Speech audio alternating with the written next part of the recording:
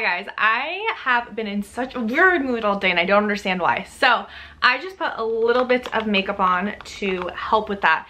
This is my favorite. You can carry it in one hand, one hand with a hair to match. You can carry this on one hand. These are my favorite products that I've been using every single day, no matter what, just to make me feel and look a little bit more alive without putting like a full face of makeup on. The one thing I didn't bring up here was my eyelash curler, but whatever. So the first thing, I will link everything I'm talking about to down below, but we're gonna get ready for the day and then we're going to try and organize my closet. I'm not very good at it because I feel like I hoard things and I hold on to things. And I'm like, why do I have this tank top from six years ago that I've never worn? can't get rid of it. So the first thing is I like to try and perfect. I used to not do this, but I got in the habit of it and I kind of learned how to do it.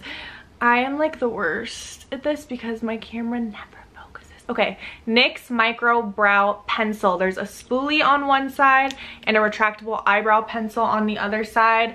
I like evening out my eyebrows now. I used to not do it because I have really good eyebrows. I barely have them drawn in right now. Um, but I just feel like making them even makes your life look a little bit more put together. It just looks better when they're like even. I know they're not sisters, they're cousins or whatever people say, but I like this. It's like a fraction of the price of the Anastasia Beverly Hills micro brow pencil and soft brown. I used to use that, but this is way cheaper. Product is this Mario Soft Sculpt Skin Enhancer. I'm going to talk about this probably till the day I die, honestly. This is one of my favorite products. I want to get it in a darker shade too. It's the nicest, creamy, but light, not super like heavy and hard to work with bronzer slash I wouldn't even call it contour. This is like a bronzer. It warms up your face but it's creamy but it's not full contour. I love it. I love the brush that is meant for it. It's the Mario F1 brush. I bought this brush recently. And what I love this brush is it's dual ended so one side is angled perfect for like the cheekbone. But what I like is the other side is this and it's perfect for the crease and it's perfect for your nose. So you could bring that in right there. Make your nose look a little bit more buttony. We all want like a little bit more of a button nose. Like who doesn't want a button nose? I want a button nose. So love this. Next product that is the best, I feel like universal blush color. I feel like blush is hard. Some people look better in peach, some people look better in pink, some people look better in mauve tones. This I feel like is a very universal color. It's the Nudestix this is the Nudies Matte All Over Face blush color. There's a brush on one side, which is really nice when you're on the go and you don't have room for makeup brushes and all of that stuff. And then on the other side is the actual cream blush. It's a really pretty, kind of, I would say more on the mauve side than it is pink. Purpley pinkish blush. I love it. It's easy to work with. You can apply it directly on your cheeks like this and blend it out with the brush on the other side. But I really like to use this Real Techniques stippling brush. Um, it just adds like, put a little bit on your nose, chin, forehead, whatever is left over. It just adds some flush of color so you look alive. We don't look dead. I don't want to look dead and gray. It's not cute, not a good look. So I just looked like I had like a bob on one side. You guys, I'm getting my hair cut in two weeks and I haven't gotten it cut. Last time I got it cut was Valentine's Day. Very random. I just remember that it was on Valentine's Day. Um, and it's time for a trim. My hair's looking, whoo, looking a little nasty at the bottom. It's looking a little dry. So I'm very excited to get it cut, but I'm gonna tell her like as little as possible because I like my hair to be long. I've never had my hair short. I don't think I'll ever have my hair short because it just doesn't suit me and I, my hair is too big, poofy, and for short hair. It just doesn't work. Even anyone who's ever cut my hair, they're like, you could never have court. Court. You could never have short hair. It would be like out to here. It just wouldn't look right. But in the summertime, I especially like to have my hair long. I just like it looks beachy and I love summer and that's when I want to feel and look my best out of all the seasons. I want to look and feel my best all year round. But if I had to pick one season where I really wanted to just be bomb the whole entire season, summer for sure. I love summer. Speaking of, so this is another key product in days where you just want to feel a little bit more put together. The Brazilian Crush 71. The notes on this, caramelized vanilla and macadamia. It is a body slash hair mist. Not only is this good on the body, it's very sweet, so you have to like really warm sweet things to be into this. This, I love this as a stinky hair mist. When you're on day two or three of your hair, I know some people go longer. I can go two to three days without my hair getting washed. Otherwise I start to panic, freak out. Skin starts crawling. I'll literally itch my scalp raw till it bleeds. If I like sweat that day, it's on day two. like I need to get in the shower and wash my hair the next morning or I'm gonna freak out. So I like spraying this as like a little hair perfume when your hair gets a little scalpy, a little stink roony up here. Do a quick spritz and it'll smell sweet all day long. So then it's like scalp and sweet mixed together, but I think it's just better than like scalpy hair. So love this. Last lip gloss, any lip gloss you want. I put this on today, which I kind of forgot about. I feel like I go in waves of lip glosses. I'll be obsessed and I'll use it every day and then I won't touch it for like a month. so I picked this up again. This is the Morphe lip gloss in boho. And honestly, I don't know why I stopped wearing it. I think it's because the formula is not amazing to where it lasts really long. I have other lip gloss that last longer, but the color's cute. I don't really have anything this color.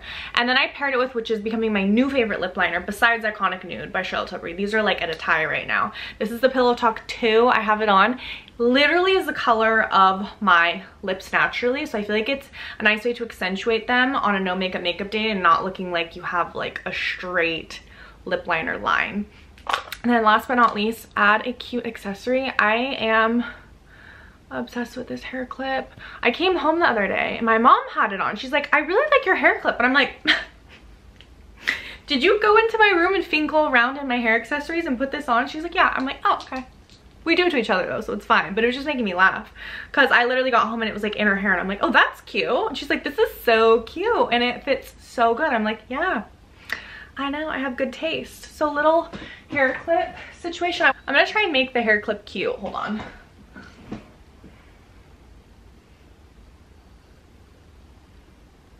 Let's see how I could do this.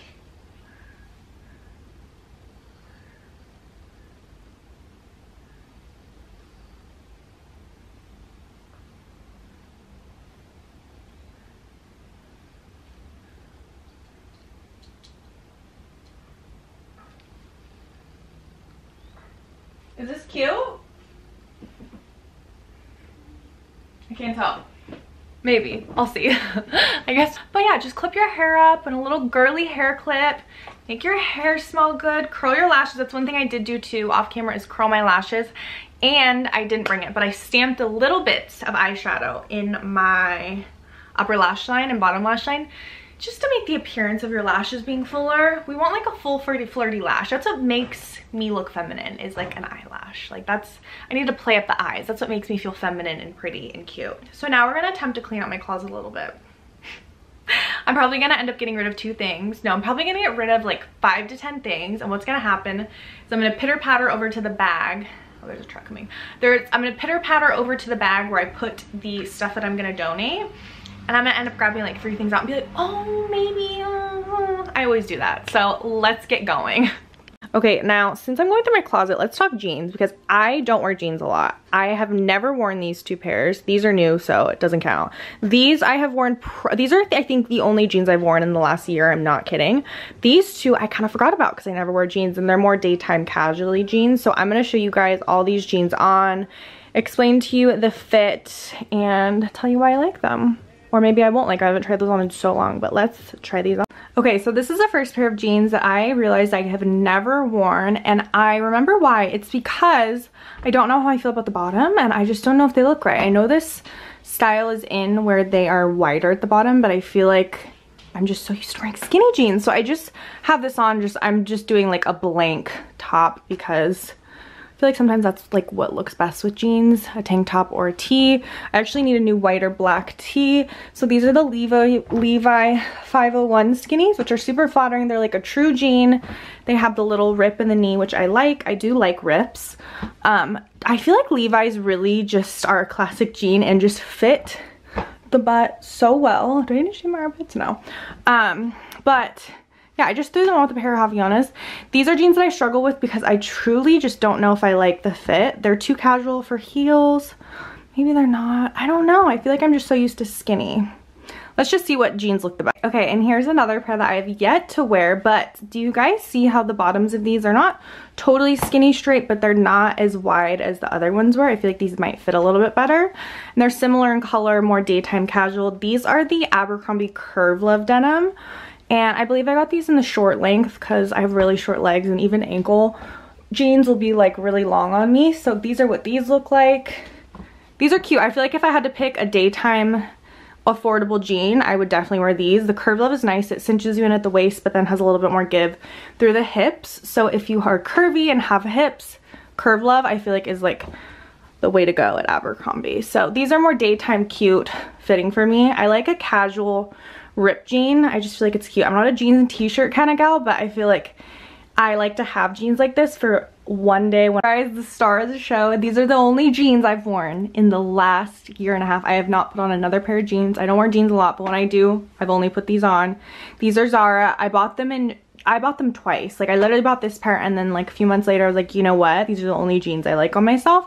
And buy another pair and I wish I could link them for you guys. But this was just one of those random Zara finds. I feel like these jeans were meant for me. Like I don't shop in Zara a lot, but I found these one time and they were literally 50 bucks. They have the perfect amount of stretch but look like that true jean. I love where the holes are. Hole placement I feel like is really important with jeans and I feel like they cinch me in at the waist but then are not too tight around the hip area and they do stretch out a little bit which I do like. I just washed them so right now I'm like kind of but I just have never loved a straight pair of straight leg pair of jeans on me so much the ankle length is perfect. I have to get ankle length jeans, otherwise they just don't work. Um, they fit my butt good. I love this color. The pocket placement is good. I feel like I like when pockets are pushed out a little bit more than when they're super narrow. I guess it really just depends. Jeans are so difficult and I feel like they're so personal and I just lucked out with these jeans. So just check out Zara few and far between. I believe I'm a four in Zara jeans. Sometimes I can't get them past my hips. Like these were just one of those finds. okay, and these jeans are my latest purchase. I showed you guys these in my May favorites video. These are the Mother brand jeans, which if you guys are looking for a high end, definitely on the pricier side, their jeans are around 250 but they have the best stretch I've tried out of any high-end jean, the best pocket placement, and they last a really long time. So I believe these are the mid-rise or the high-rise Dazzler ankle. Once again, gotta get ankle. I haven't decided if I want to hem these a little bit or leave them long. These are a jean that I like because there's no rips. A lot of my jeans have rips, but they just form to your body so well like butter i'm not kidding and they have such good stretch but they still look like that true jean and they just fit so stinking good like they fit the butt so good they're stretchy they're really flattering they're comfortable i hate when you feel like you're suffocating in jeans or like after you eat dinner like you literally have to unbutton your jeans that's how i feel in a lot of my other jeans because they're all true jean these have stretch in them um, these are i think like my third pair of mother jeans that i've bought and they honestly never fail. So if you're willing to spend a little bit more money, which jeans are investment, clothes and everything that you wear is honestly an investment.